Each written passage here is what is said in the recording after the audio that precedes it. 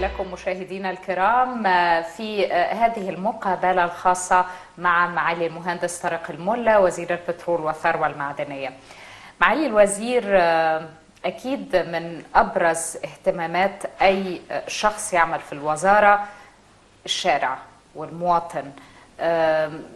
كيف وضعتم المواطن في اعتباركم عند وضع الخطط الخاصة بتسعير الغاز وتسعير البنزين لا خلينا نتكلم في في الغاز الطبيعي وده. الأهم والحقيقة إحنا يمكن علشان خاطر زي ما كنت بقول إن إحنا عايزين نوفر كل ما يحتاجه المواطن من منتجات بترولية وغاز طبيعي ففي إطار الخطة القومية بتاعتنا واهتمامنا بإن إحنا نوصل الغاز الطبيعي لكل ربوع مصر من شمالها لجنوبها كل المدن وكل المراكز وكل القرى فإحنا الحقيقة كمان آه، يعني استجابة وإجابة على سؤالين.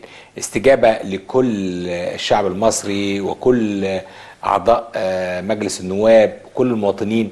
كل الناس عايزة غاز طبيعي دلوقتي عندها في المنازل.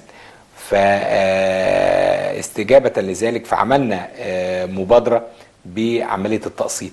فإحنا لما حطينا خطة بتاعتنا لتوصيل غاز طبيعي للمنازل آه، خطة كبيرة طموحة والحقيقة إن هي آه، يعني بتلقى كل الدعم من السيد الرئيس عبد الفتاح السيسي وهو حاططها كأولوياته لأنه النهارده لما بنتكلم على اكتفاء ذاتي من الغاز فقال طب ورونا بقى فين الغاز بالظبط. فلازم على الأقل الشعب نفسه يحس بأنه فعلا وصل له هذا الغاز اللي إحنا بنتكلم عليه فمن هذا المنطلق عملنا مبادرة بتقسيط آه، مصاريف آه، تركيب الغاز الطبيعي للمواطن. إحنا كنا قبل كده آه، كان المواطن بيدفع حوالي 2000 جنيه آه، علشان خاطر يتعاقد على توصيل الغاز الطبيعي عنده في المنزل.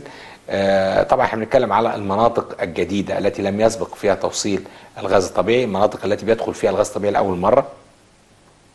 هنا إحنا قلنا إحنا هنقسط ال 2000 جنيه دول على 30 جنيه في الشهر بدون مقدمة وبدون فوائد على ست سنين. وبالتالي هتيجي له مع الفاتورة الشهرية القسط 30 جنيه. الحقيقة من ساعة لما طلع المبادرة دي ما أقدرش أقول لحضرتك الحمد لله الإقبال آه، جه إزاي. وإحنا في الشهرين دول من يوم ما أطلقنا المبادرة في نهاية شهر يوليو يعني في أغسطس وسبتمبر قدرنا إن إحنا نتعاقد على أكثر من 300 ألف آه، متعاقد لتوصيل الغاز الطبيعي للمنازل بنظام القسط أبو 30 جنيه.